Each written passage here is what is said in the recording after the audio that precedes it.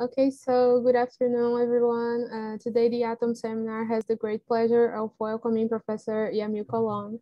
Uh, Professor Yamil Colon obtained his bachelor's degree in chemical engineering at the University of Notre Dame, and then he received his PhD degree at the Northwestern University.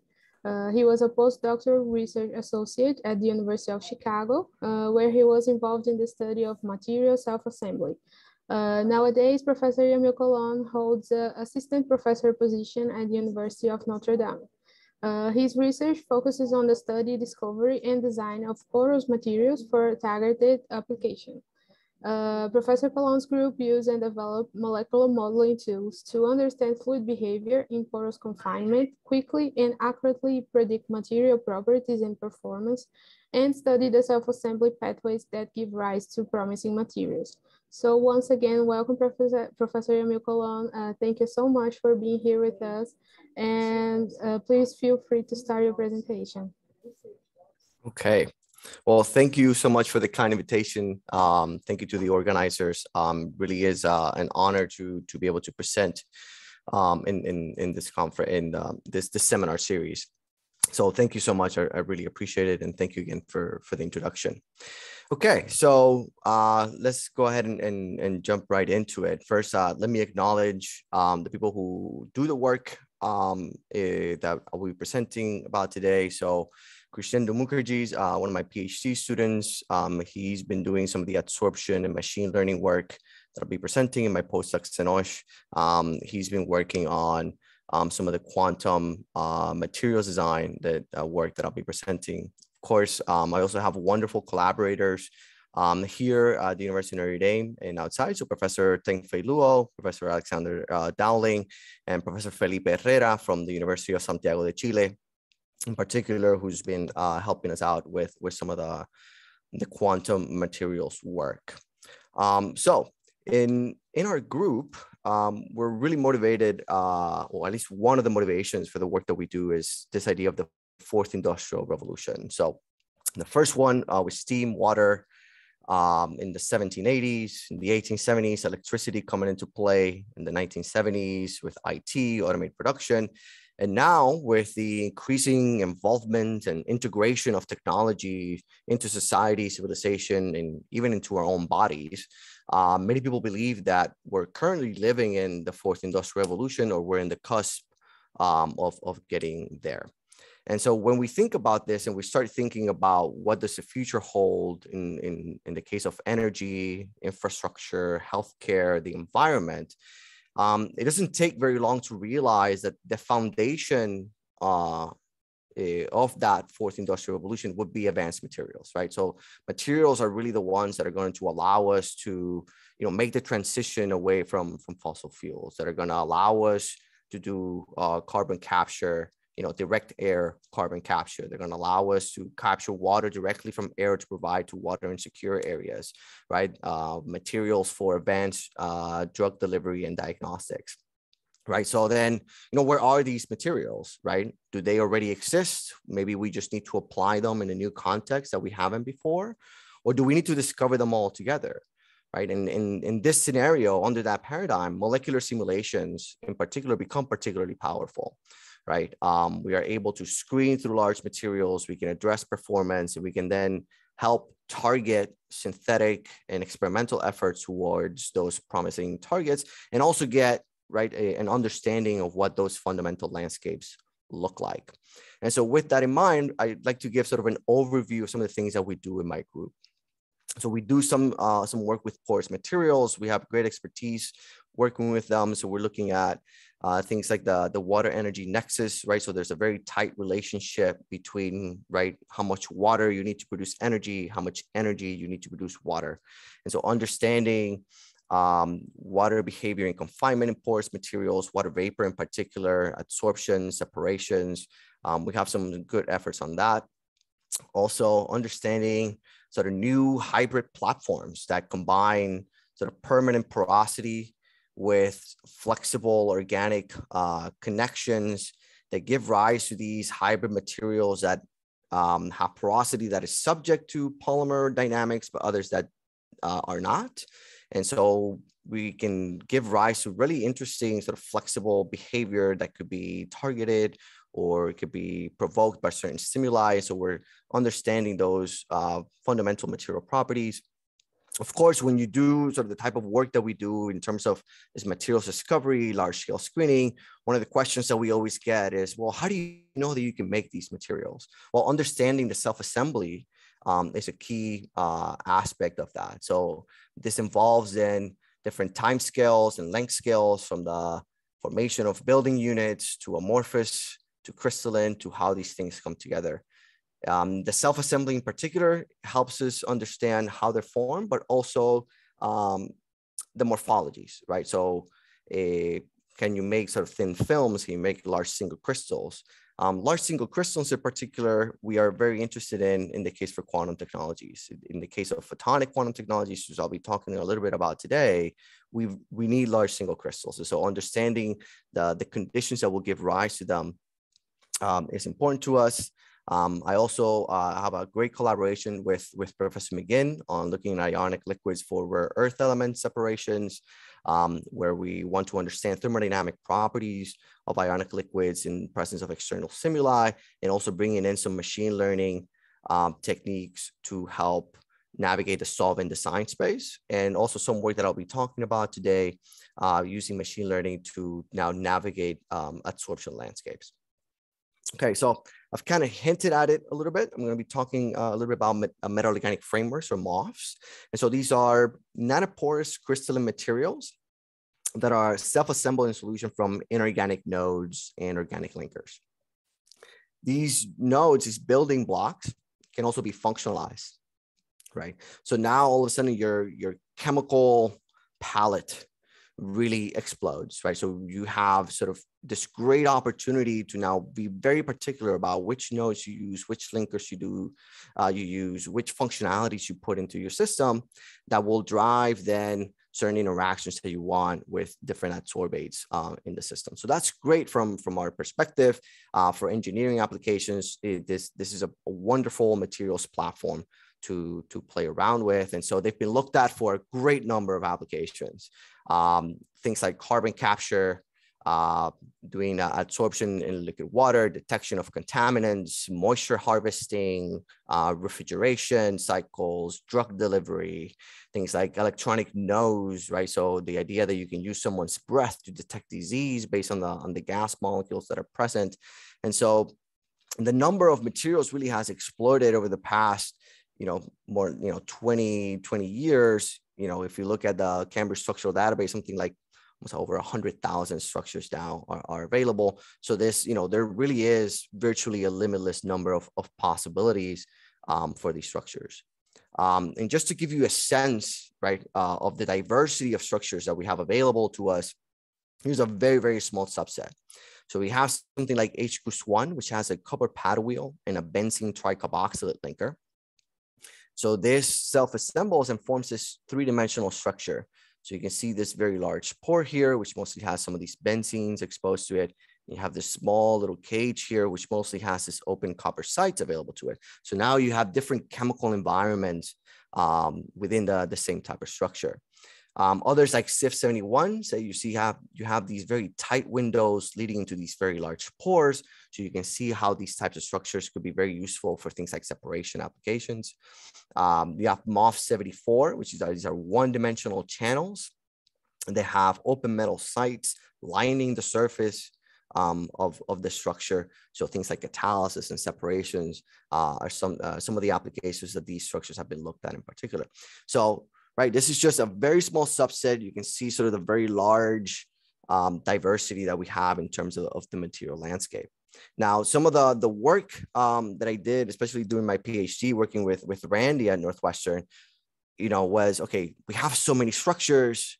How, how can we find sort of the best ones for, for a given application? How can, you, how can we characterize sort of these, uh, all these materials in terms of just even their physical properties? And so we developed um, that we spent a lot of time developing sort of these high high throughput screening techniques, sort of large scale high throughput screening techniques. We can now give you a sense of what the landscape looks like and can now sort of help you point out what are sort of those promising structures and can lead to, to materials discovery. Now, given this, uh, these types of frameworks, of course, we, we weren't the only ones. There's, there's a large number of groups that also spent a lot of time um, developing these techniques. And thanks to that, there's really been an explosion of data in, in, in this material space. And whenever you hear sort of large data and all that, machine learning starts to play a very important role. In particular for the materials discovery of MOFs, right? Machine learning now allows you to do much faster evaluations, much faster um, uh, performance, right? And so you take your structural databases, you take some of the descriptors, which I'm going to get into a little bit. You have your sets. Okay, but really at the heart of this, you need your databases and you need your data sets. And so that's kind of where I'm going to be focusing on today. So the first part of my talk, I'm going to be focusing on how do you generate these databases? Where do they come from? Um, what are the algorithms that you could use for, for generating these in the context of MOFs? And then how do you go about um, generating then these, these data sets? What are some of the new techniques that we can use to now generate large enough data sets to be able to leverage then the machine learning techniques? Okay. So one of the things that I focused on during my PhD was hydrogen storage. Um, and I think this picture uh, really exemplifies sort of the, the, the problem of hydrogen storage, right? So these are hydrogen tanks in different forms. This is the size of the fuel tank that you would need in order to drive the same distance as you would in your normal tank of gas relative to your mid-sized vehicle. So hydrogen gas at 200 bar, this is how big your fuel tank would have to be right? Obviously, you know, just from the picture, we know um, this this isn't reasonable, right? So we need to find ways to to densify that. And then, of course, I don't I don't think anybody wants to drive around with 200 bar of hydrogen in in in, in their car. Okay, so the, the Department of Energy then set out uh, certain uh, storage targets. I believe there's they, they've been revised, but they're still very similar to, to these numbers that we were working with back then. Um, and in terms of engineering these materials, we really need to think about the deliverable hydrogen or the working capacity of the material. Okay, so um, this is showcased in this figure here. So we have how much gas is absorbed as a function of pressure. If you have a material that interacts very strongly, you're going to saturate your isotherm very quickly. But some pressure is going to be left over in the tank. So the actual working capacity or deliverable hydrogen is actually very small compared to a material that doesn't interact quite as strongly, but is still able to get um, large capacity. Okay, so this is something that we need to keep in mind as we think about these materials in, in the energy storage uh, applications. So the way we uh, evaluate these materials is using uh, Grand Canonical Monte Carlo. Grand Canonical stands for the Statistical Mechanics Ensemble, where we fix the chemical potential, volume, and temperature. And temperature. And so the number of molecules is allowed to fluctuate. So at these conditions, then we run our simulations. And once we converge, we can extract then the number and that represents then the amount absorbed um, at those conditions. Okay, and so even uh, just for, for the models that we're using in, in these types of, of simulations, we we have found that for the vast majority of cases, um, holding the, the atoms fixed in the crystallographic positions works really well, and using uh, generic force field parameters actually also works really well. Um, we treat hydrogen as rigid. We have a Lennard-Jones parameter at the center of mass, and then we have charges at the nuclei and also at the center of mass, right, to get that, that hydrogen quadrupole. And so even uh, before I joined Randy's group, they've been publishing works on, on hydrogen storage. Here are some simulations compared to experiments for hydrogen adsorption uh, isotherm. So the black lines are the experiments and the empty symbols are going to be the simulations. So one, you know, we, we observe great agreement between the simulations and the experiments. And also each one of these symbols all represent a separate GCMC simulation where we fix again the chemical potential, volume, and temperature. Okay, so this was for, uh, for one MOF. Okay, the whole idea of this is how do we go about now exploring sort of that large landscape? Well, you have various options. You can go to, to the CSD and you can um, sort of you know, mine that database for all the structures that are MOFs. There are some um, cleaning up that you need to do, maybe re remove some solvents, get rid of disorder, those types of things. And so there's, you know, the, there's the core MOF database and there are others um, that do that now. That's great. Um, our approach was a little bit different. So Chris Wilmer, um, when, when uh, we were together in the group, so he published this work where he took a what we call a bottom up approach. So you take your building blocks and you sequentially connect them until you form a crystal. Okay, so this this worked out really well, and they were able to publish this uh, these uh, papers, sort of screening through these very large databases. And so we decided to apply then that algorithm with an additional functionalization that is particularly important for hydrogen storage, especially near the conditions that we wanted. We put in a magnesium catechol, and so now we ended up with a, a database of over 18,000 structures that have various degrees of this functionality inside of the MOFs to see how this would affect the hydrogen storage capabilities. So in the end, this was um, sort of our big figure of merit. Here I'm plotting the deliverable gravimetric versus deliverable volumetric hydrogen absorption and coloring in the magnesium density. So very high density of magnesium gives you actually, you know, pretty nice uh, in terms of the deliverable volumetric, maybe not as much in terms of gravimetric and vice versa. Now, if I put this into context in terms of where the DOE would like me to be,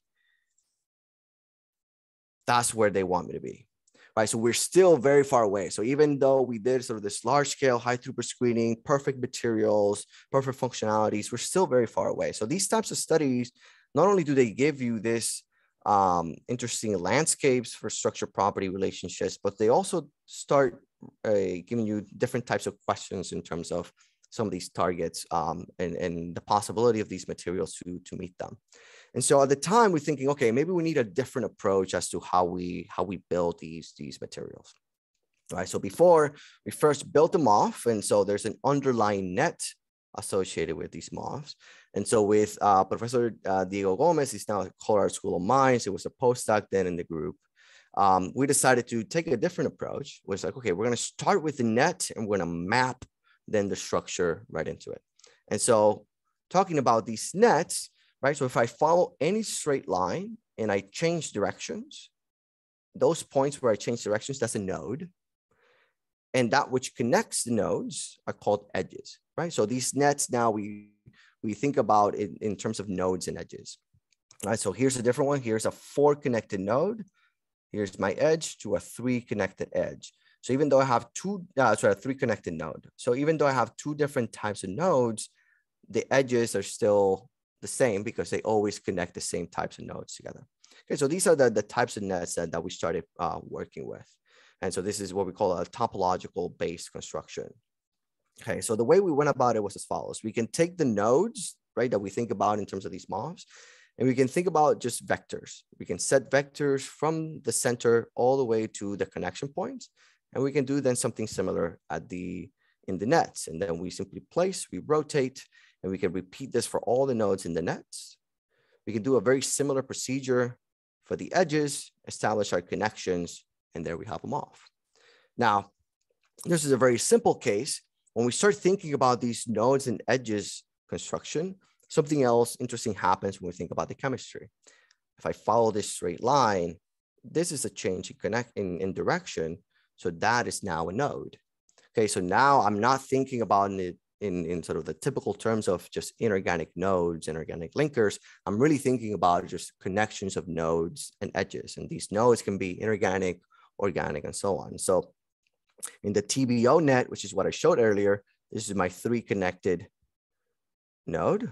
And so there goes my benzene ring that I showed before. And here I could put in a copper paddle wheel, establish my connections, and I end up with these uh, TBO net structures very similar to, to the HKUST-1. And so we're really excited about this because now we can do this large scale high throughput screening techniques, look at things like for a surface area versus void fraction, get a sense of the physical properties. Where do the topologies lie? Is there, is there such a thing as topolo topological dependence in terms of, of the structures, right? So each one of these points is now a different structure and I can color in the different topologies to see where in this landscape uh, do they lie. Now, in addition to giving you a sense of what these landscapes look like, they can also, these types of studies can also lead to materials discovery. So here again, I'm plotting deliverable now a volumetric versus gravimetric. And each one of these symbols um, is a different structure, and I'm coloring in the different topologies. Here I have sort of what you would have in terms of the deliverable, just empty tank. And here's uh, your cryogenic hydrogen gas tank. And so this is these results are at 77 Kelvin and 100 bar. Now, at the time, we were really interested in these cyan color uh, structures, this SHE topology. The reason being, at the time, there was only one structure that we knew of that had that topology. And so it had a six connected zirconium corner, so inorganic, and a four connected organic. Through our um, paradigm of nodes and edges, now the identities of these, we can switch them. Now we can have a six connected organic and a four connected inorganic leading to a new structure. Okay, so this structure was uh, not known before. We communicated it to our collaborators. We were able to then go into the lab and actually test it against our predictions, finding a reasonable agreement. Right, so these types of studies can not only give you a sense of what the landscape looks like, but it can they can also lead directly to materials discovery, where you first find a structure on the computer and then you go into the lab to try and make it. Okay, so that was an example of uh, how we can use these uh, crystal generation algorithms, whether they're bottom up uh, or, or topological based, and then do quick GCMC calculations to generate these data sets. Now, anyone who's familiar with sort of the machine learning type frameworks, you know that a lot of these are very, very data hungry. Okay, so then these leads to other kinds of issues. One is, well, what if your simulations or your experiments are just really, really expensive? Right? What, what can you do there? Do you really have access to that data? At that point, you might as well just do all the experiments and, and do your correlations that way. Why, why, why try to do machine learning to begin with? Okay, and so we started thinking about this like, okay, can we leverage the data that we have already produced in some new way? Can we use the data here that we've done for hydrogen, that we've done for methane, to now try and, predict new properties and spaces that we haven't, uh, that maybe the models haven't seen before? Okay, and the other part is, okay, well, what if I don't have those things available to me? Can I be as data efficient as possible to try and develop some of these data sets? Okay, so I'm going to give you two examples of these. So I'm going to give you transfer learning and active learning. Okay, so first transfer learning. The inspiration for that was really these types of plots, right? So again, sort of the this this is one of the advantages of doing these large scale high throughput screening techniques. Right, so this is hydrogen absorption, volumetric versus gravimetric, and this is methane absorption, volumetric versus gravimetric. The similarities between these are quite striking, if you ask me. You have a very sharp rise you have a kind of a maximum and then you sort of tend towards the, the empty gas, the, the empty tank limit. Okay, and you see that both in terms of hydrogen and methane. And so that inspired us, okay, can I use this data to make predictions about this data using very limited number of, of points? And so that's where this idea of transfer learning comes in. Okay, so we're going to do some normal training, right? So we call it our source task. And here are going to be the descriptors that we're going to use. We're going to use descriptors that we think are going to be important to the absorption process, right? And from the community, we know things like surface area are going to be important, void fractions, the pore sizes, right? The limiting diameters, the largest diameters. And we're going to perform then this training on our source sets, which usually can be maybe something that's easy to produce, right? Maybe a cheap experiment, a cheap simulation that you can generate a lot of data for very quickly. And we're going to take this, we're going to take what we learn and now try to use it in a new context. And the way we do that is we're going to fix then all the layers in terms of the weights that we determine in this source task. And we're only going to allow the last layer to change. So when we train now this new machine learning model, we're using everything that we learned from our source task to now only change this very last layer in our target task. Okay. The idea being is that now I can dramatically reduce the data burden of, of, of developing these types of models. Okay, so this is kind of the workflow that we follow. So we have our source task. We're going to use all the data that we have. We're going to train it. Then we're going to have a target task where we also have a lot of data available to us. In this case, just to show that we can do this, we're going to take a, a 1,000 random draws, and each one of these is going to have 100 points.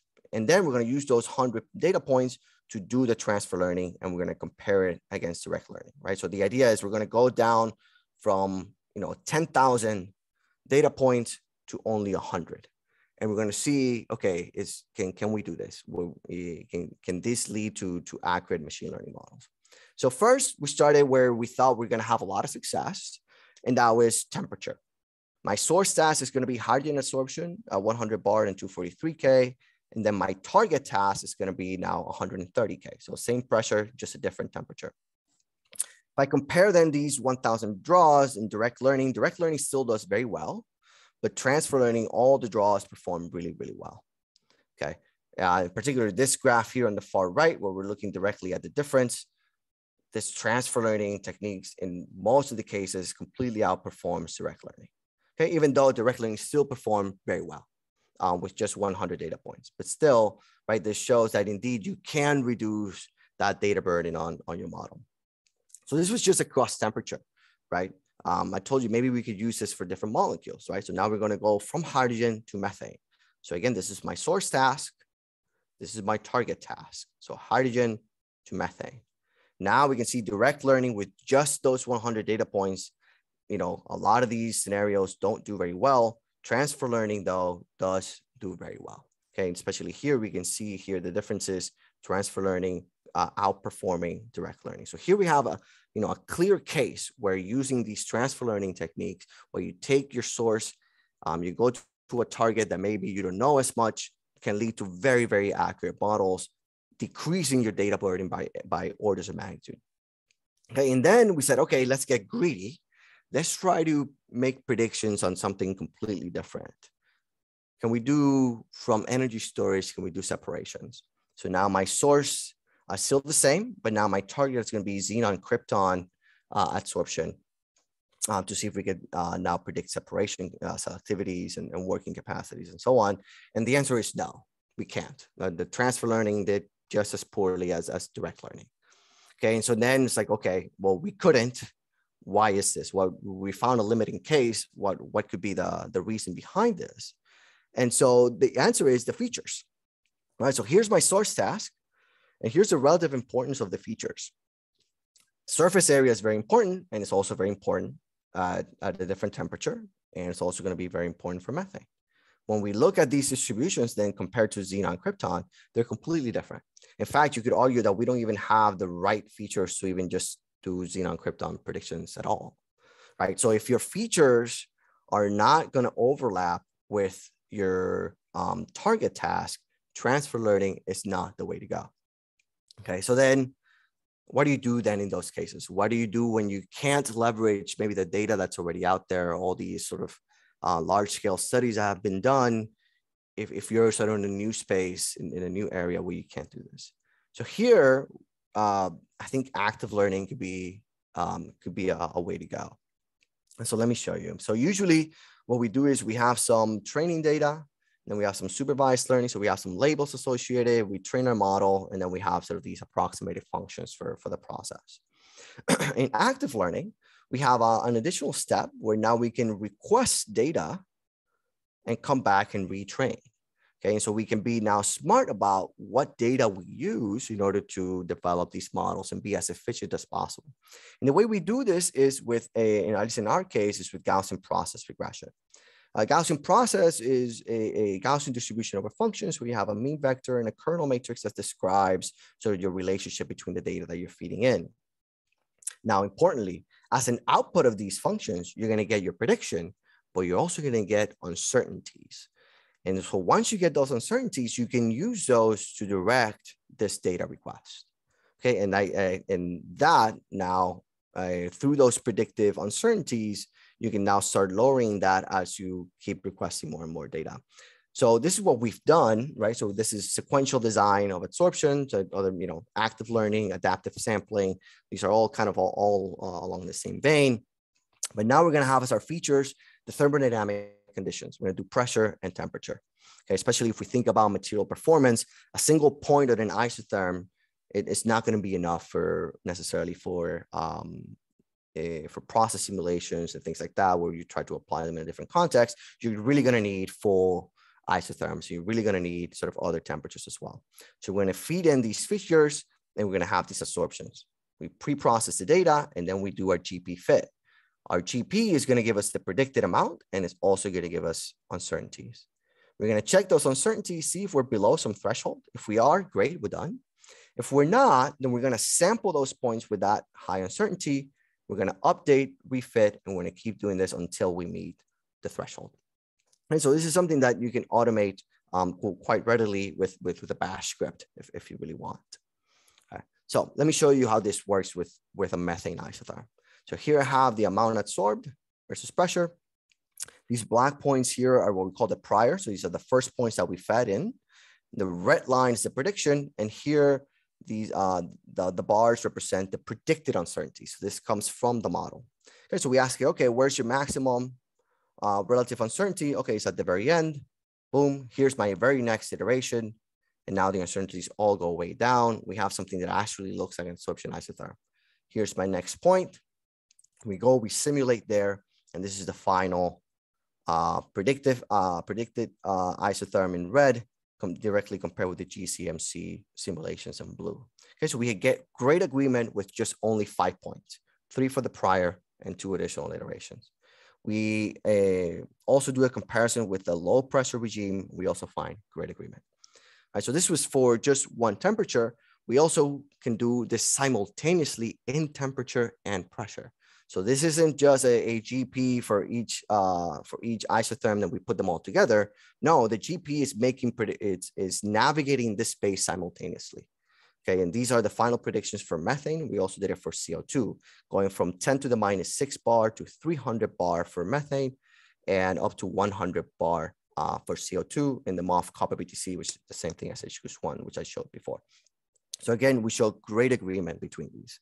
Um, an important aspect though to keep in mind, of course, is what do you give the, the model, right? So we, we have these, what we call a boundary prior. So we feed in sort of the, the boundaries of, of the space that we have, and we compare that to a simple linear space in temperature and pressure or a log space in temperature and pressure.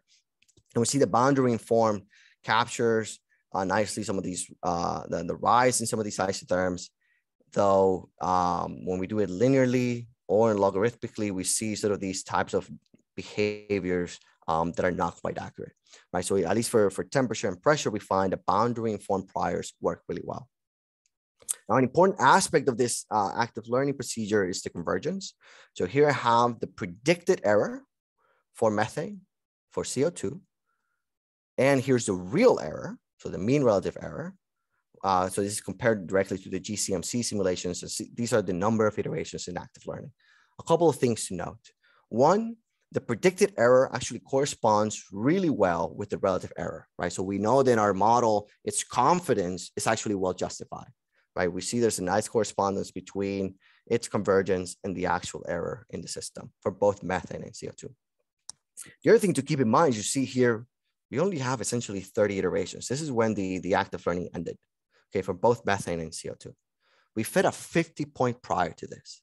So with essentially only 80 points, I am able to describe the full temperature pressure absorption landscape from 100 to 300 Kelvin, 10 to the minus six bar, and 300 bar or 100 bar, depending on methane or CO2.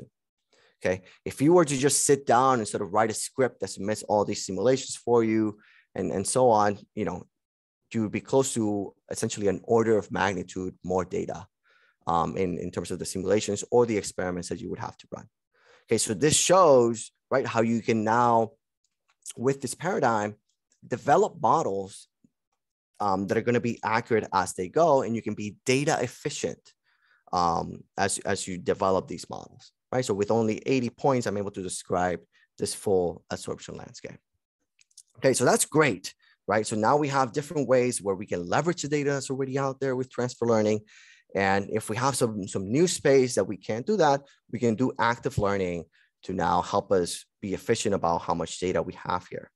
Now, the last part of the talk, I want to, eh, talk about sort of new technologies that are coming out and, and how materials can play a role.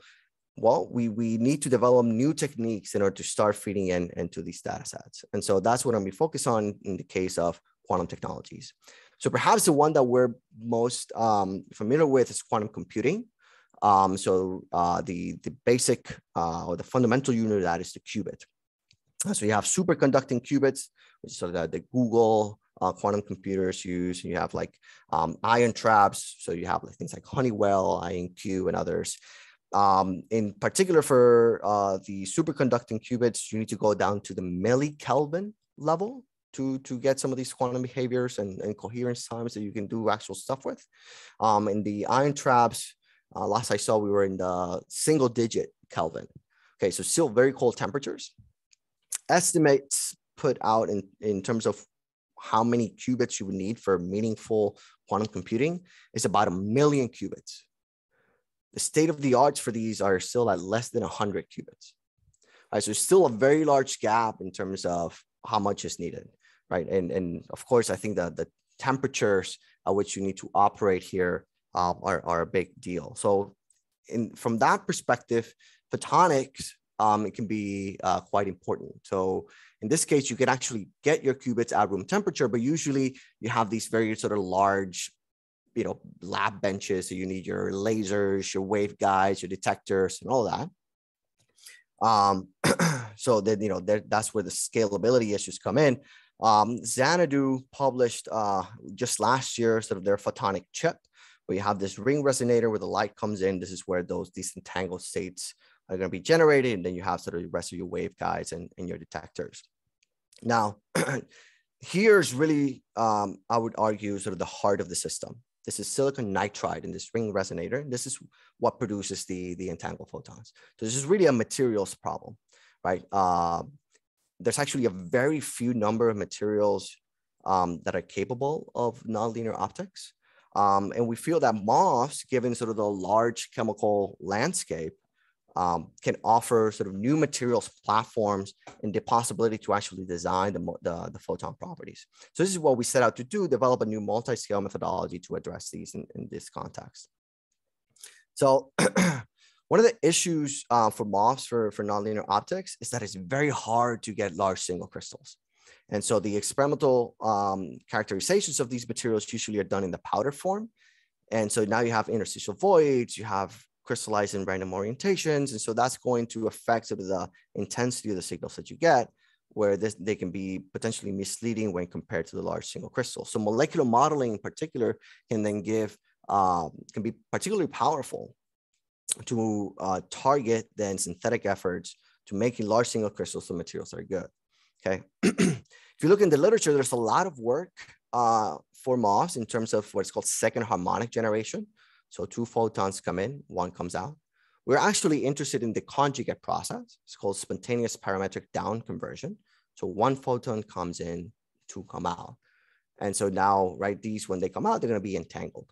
And so what I mean by conjugate processes, essentially that means that what's good for SHG is going to be good for SPDC. So things like chiral ligand, large dipoles, D10 metals, and non-centrosymmetric crystals are going to be key in, in, in this process. So this is the setup we, we have in mind. We have a laser, it's gonna pump into a birefringent MOF. The, the photons that are gonna be down converted and they're gonna exit with some correlation time and then some entangled degrees of freedom. Okay. In order to do this, we're gonna do some periodic DFT calculations. We're gonna find the Sellmeier equations and these uh, second order uh, nonlinear uh, optics susceptibility term, this chi2. We're gonna combine these to get an effective nonlinearity and use then now these terms into these G2 functions, which then gives us the coincidence correlation, right? So we're making then a direct connection between the properties of the entangled photons to those of the material. So this is an expression of the G2 function. A lot of this is really related to, to sort of your setup, the frequencies that you're using, the bandwidth of your detector. Here's where the material properties come in. This L here represents the length of the crystal, which you, you know you can sort of set. Um, and then you have this beta sub two here, which is the, the group velocity dispersion. I'm going to talk a little bit more about that. But that's the idea. Photons come in, they traverse through the MOF. These photons that are going to come in with some delay associated with them, and then you have your, your correlation time. And so this full width half max then gives you what that correlation time is. Okay. When we look at the Sellmeier equations, this is what it looks like. This is an empirical correlation, okay, that relates then the, uh, the refractive index to wavelength. This refractive index we can find uh, to, through the dielectric function, which we can get from DFT. And we can get then the responses along the ordinary extraordinary axes and then find these perfect phase matching angles, which is where that optimal wave mixing is, is found.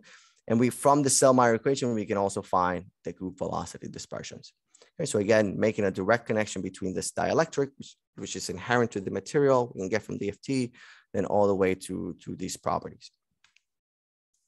Then the next, we also have this other expression. We have this C term here, which is going to be uh, scaled along these parameters. Here's you have this D effective term. This is effective nonlinearity. Here's a chi2 term, and you contract then this tensor um, using the perfect phase match ang angle that we found from the Sellmeier equations. All right, so those are then the, the two ways where we make then that direct connection between the materials and the entangled photon properties. So we have then a set of MOFs that, that we have that sort of meet some of the criteria that I listed before, large dipoles, non-center symmetric, um, and we're going to do periodic DFT calculations on them using Crystal 17. Here are some of the results. So here's my Sellmeier equations. We have the ordinary and the extraordinary for the different MOFs. We have then the phase matching angles as a function of wavelength, uh, depending if you're positive uniaxial, negative uniaxial, etc. Right. So this is work here uh, performed by uh, Rubén Fritz, um, who's at the University of Santiago de Chile, uh, and, and Feli Barrera. So we have then uh, so the D effective terms, the group velocity, and the correlation times. Then right. So these are photon properties, and these are the nonlinear optics properties of the material we were able to uh, validate some of our calculations with BBO and KDP, obtaining good agreement. And we also find that one of the MOFs, MIRO 101, actually has um, similar D effective, so effective non uh, effective nonlinearity um, comparable to, to KDP, which is one of the industrial standards. So that's great, right? Um, this now opens the door for us to, to do some, some of these large scale high throughput screening because now we have a multi-scale methodology to do so and use machine learning to help us navigate these landscapes. So we now like to summarize, right? We, we showed these types of studies can lead directly to, to materials discovery, give us a good sense of what the structured property relationships look like. And thanks to all this data, machine learning is becoming more and more prevalent in the field. And so finding ways to leverage the data that we already have is, is important. And so we show that we can do that using transfer learning techniques. In the case of where we can't do that, active learning is going to also play an important role where now we can potentially generate not just single data points along an isotherm, but full isotherms and navigate the temperature pressure space. And we expect these types of techniques also to play an important role as we continue our, our search for materials in, more um, sort of a, a new technologies that are coming up. With that, thank you so much for, for your attention. I'm, I'm more than happy to, to answer any questions. And thank you again for the kind invitation.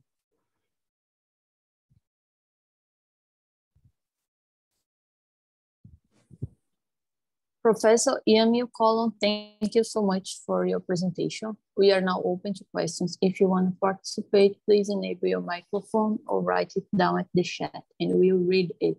Also, our YouTube viewers can write it down. Let's see if you have any question from the audience. Let me start. yeah. Can I start? Sure, go ahead, Professor Frank. Uh, thank you for for presentation, uh, Wyoming. Uh, very interesting and uh, new results and interesting results. Uh, I, I wonder, uh, you, uh, in your machine learning model, the descriptors that you choose uh, I, couldn't see any kind of energetic information like uh, the absorption energy or something like that. Why? Right. So for, I mean, so the, the reason is uh, the the textural properties. Um, so the surface areas and the the the pore sizes. These we can get much quicker um, than than heats of absorption but but you're right. So in the case for for xenon krypton separations, there's work in the literature that precisely uh, points out that you do need energetic based descriptors to be able to make those predictions. In the case for hydrogen and methane, it turns out we don't really need those to to make accurate predictions. Um, but yeah, so it, that I think that kind of goes to depends on on sort of your molecule. Um, hydrogen you know, for except for very for some exceptions, doesn't care too much about the, the material interactions. It's more about sort of the confining space that that is going to occupy. And then of course there's this interactions with the material, but yeah, the, with with just the surface areas and the pore sizes, we, we can do a really good job at predicting those. Okay, understand. Uh, other point is uh, when you try to project uh, the absorption of the materials uh, in, in different temperatures, mm-hmm. like you, you, get information about one temperature and, and extrapolate for the other temperature. That's very interesting. But uh, in the case of uh, hydrogen, uh, the quantum effect may mm-hmm. depend on temperature that yes you're absolutely right. So in the case of, of hydrogen uh, the way we take uh, those quantum effects into account we apply a feynman-hibbs correction uh, which essentially takes into account the reduced mass.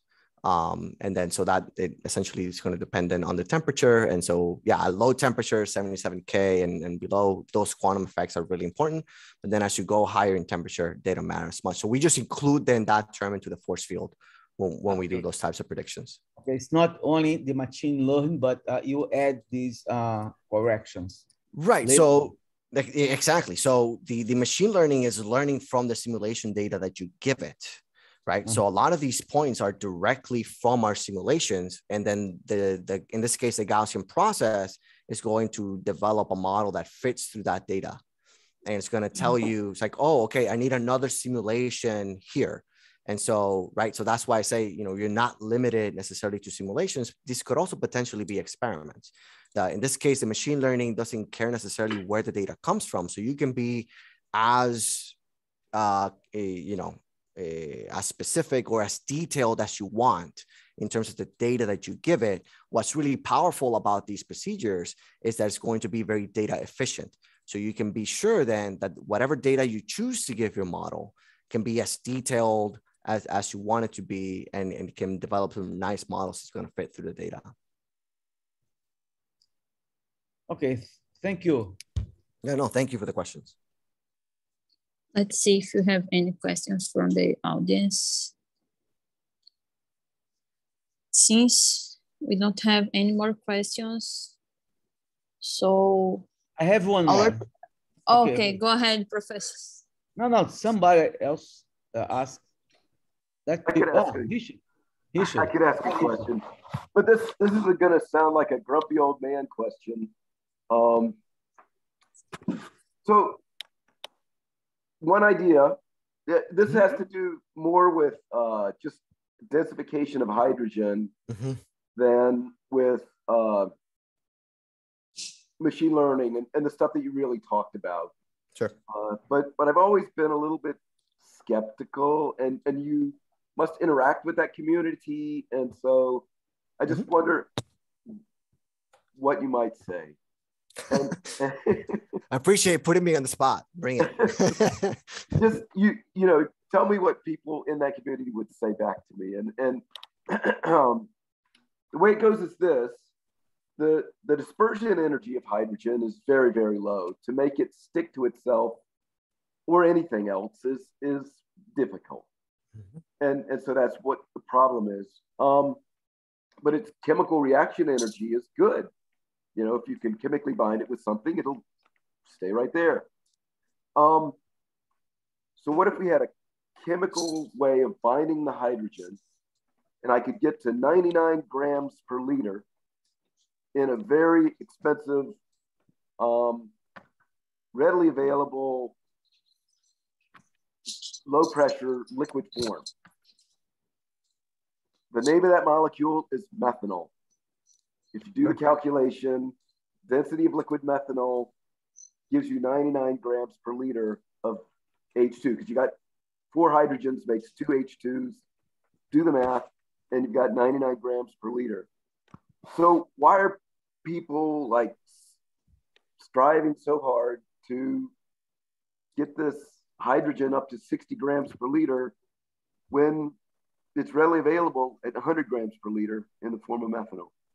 Yeah, so that that's a great question. Um, and then you know, of course, there's there's a, a huge also community on in the metal hydrides uh, community that is also looking at essentially, yeah, dissociating hydrogen and putting it in a material um, and then recovering it back. I think, um, I don't know particularly about methanol, but some of the issues then become about the energetics to recover then the hydrogen back and sort of the reactions that you might get um, when you're we're trying to get that yeah the hydrogen back potential side reactions and and temperatures that you might need to get to to get there. But yeah there's when, when we think about sort of the hydrogen storage and or an energy storage there's sort of the sort of chemical reaction or or chemical sorption um, and sort of physisorption uh, communities. And you know the answer is going to be so somewhere in the middle. But i i i right uh, the, the concerns are along those lines it's like temperatures that you need to then get the hydrogen back and potential side reactions that that could be uh, pernicious to to whatever system you're operating in. Well, what's the downstream application of the hydrogen? So in this case, is is cell, right? in, in in this case that we were looking at was was vehicles. Yeah, so um, you're running a fuel cell or an engine.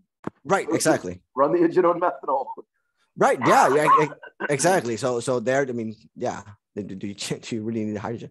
Um, uh, yeah, I mean that's that's certainly a, a potential uh, avenue. Um, I would yes, I think the so the Department of Energy does come out with with a lot of these documents um, where they've yeah sort of talked about some of these sort of liquid based storage um, and you know methanol is not just the only, only one there there are others and there's also solid state um, right? So it's like magnesium hydrides and ammonia borane and others that have a very high hydrogen content in them. It's just about getting the hydrogen back. Those those seem to be really where the concerns lie.